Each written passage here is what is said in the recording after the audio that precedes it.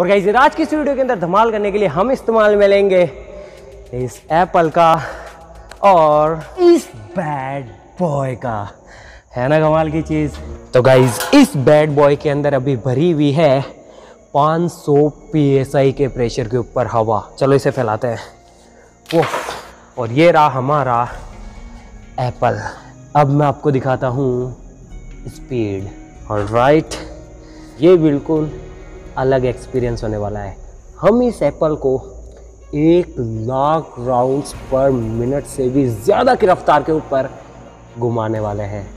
फिर देखते हैं कि क्या होता है।